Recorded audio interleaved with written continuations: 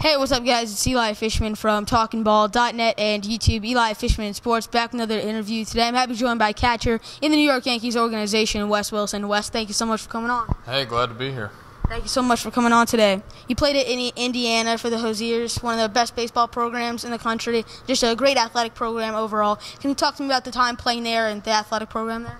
It was a blast, you know, and I, I was probably there five or ten years too early because right now everything's taken off. Of course, a couple years after I was gone, um, they went to the World Series with Kyle Schwarber and Sam Travis. So um, I, I, had a blast, big school, a lot of things to do, um, and just had had a lot of fun playing there and going to school. Uh, after your senior year, you signed with the Yankees as an undrafted free agent. How did it come? You know, what what were some things that came together for you that led you to sign with the Yankees?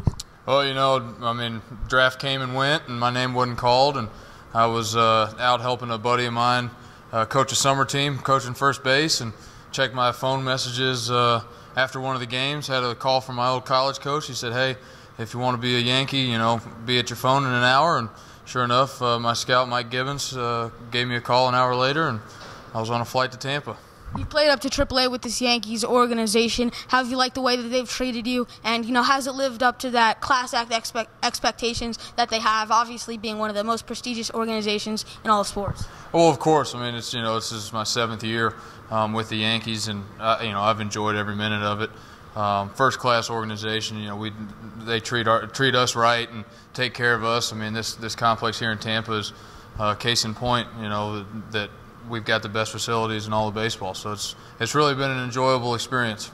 Um, you've been bumped out, bumped up and down, you know, a bunch of the levels of the organization. But right now you're in Tampa, High A, hoping to, you know, work and develop here. What are some goals that you have for, if not this season, just your career overall to develop into the, a better player?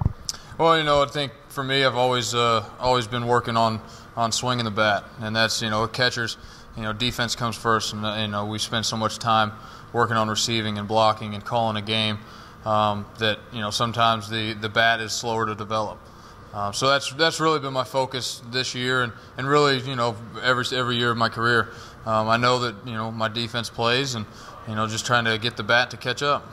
All right, thank you so much for joining me. All right, Thank you, Wes. Really appreciate it.